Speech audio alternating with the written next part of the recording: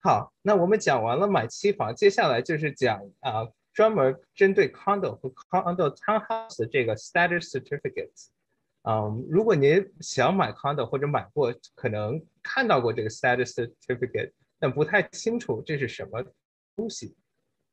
所以呢，这个就是一个公寓公司提供的法律文件，相当于是一个证明或者一个证书，里面呢是会给买房提供各项。关于这个公寓公司以及这个住户，嗯的信息，所以这种 status 一般都很长，比如说两百页都很正常的。里面包含什么样的信息呢？首先肯定是会有这一住户的信息。您比如说您想买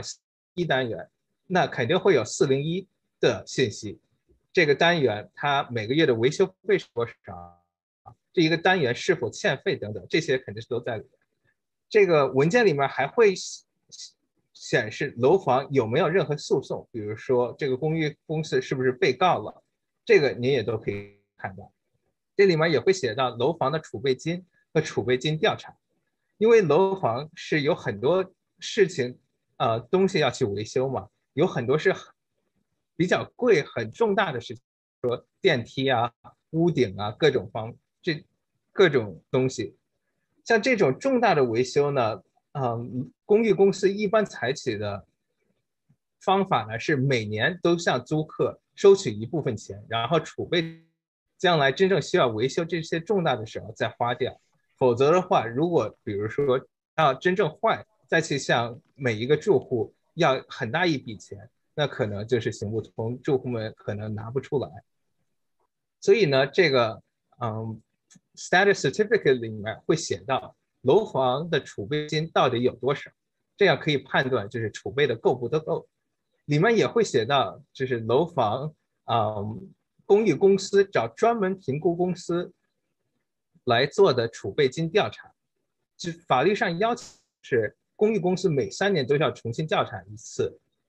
这个评估公司呢，就会看这个楼房现在年龄多大，呃，就是这个楼房有多老，里面需要什么维修，预计一下，比如说接下来十年。需要什么维维修什么，花多少钱，什么时候维修，然后通过这个来计算现在应该有多少储备金。所以呢，通过这个 status certificate 就可以看到楼房现在有多少储备金。这个调查里面说需要有多少，这中间有没有什么差别？如果差的很大的话，就可能呃就可以知道，可能在不久的将来，楼房要提高啊维修费用。还有呢，就是。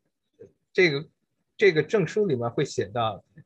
特别评估，英文叫做 special assessment，也就是说超出每个月要付维修费用的一个一次性的需要支付的费用。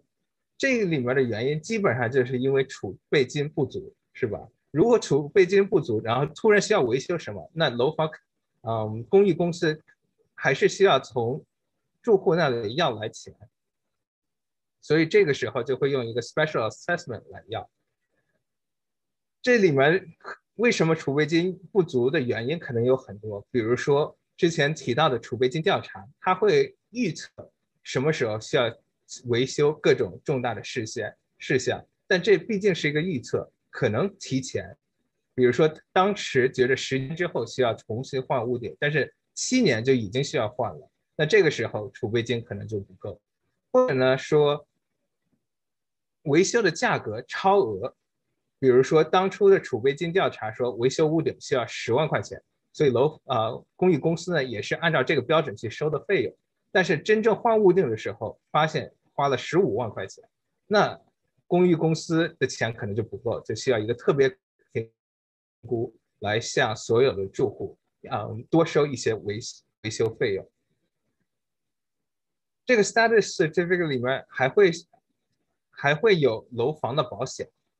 所以在 condo 里面呢，一般是这个公寓公司自己有一份保险，然后业主自也会有一份保险。为什么有这两份呢？因为他们 cover 的东西不一样。楼房的保险一般就包括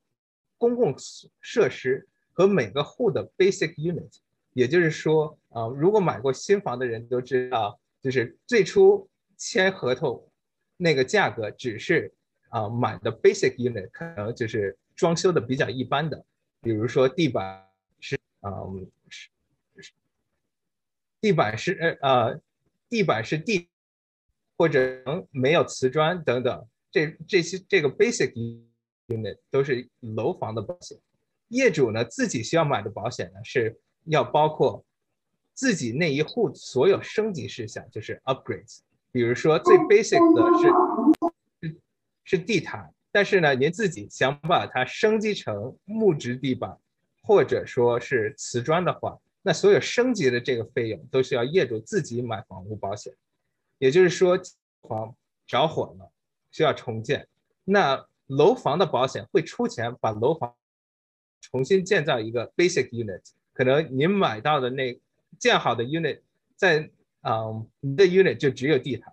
但是您自己的保险这时候会出来再多加一部分钱，让把您的 unit 再回到之前升级过的 unit，比如说是有瓷砖、木质地板等。业主需要自己购买房屋保险的另外一个原因呢，就是嗯，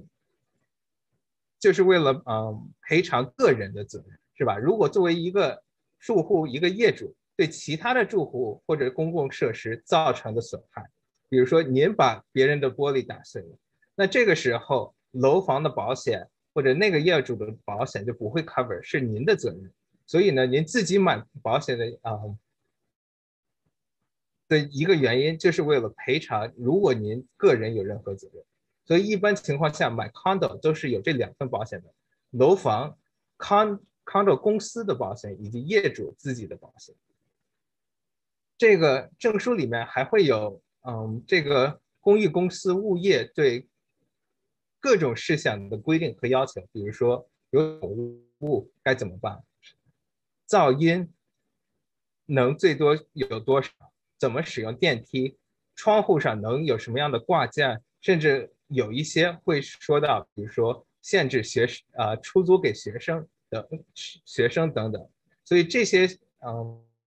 比较就非常细了，嗯，所以大家都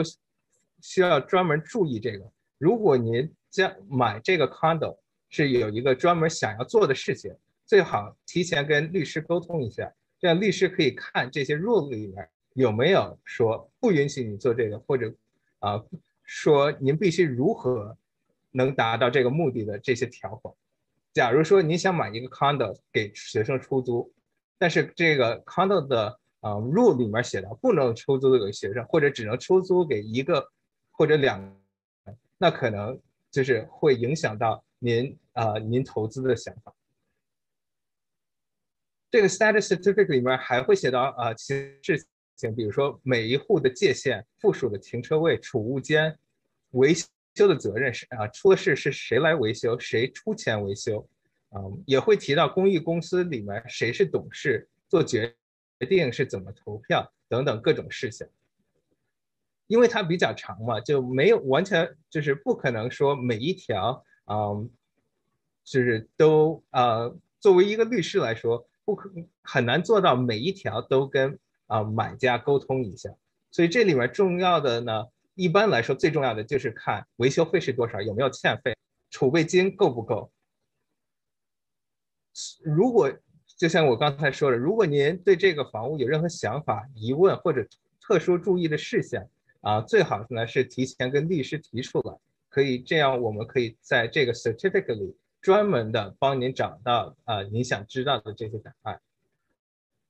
因为我们大家也知道，现在房地产的这个市场比较火热，很多时候呢，啊，想要抢到一个房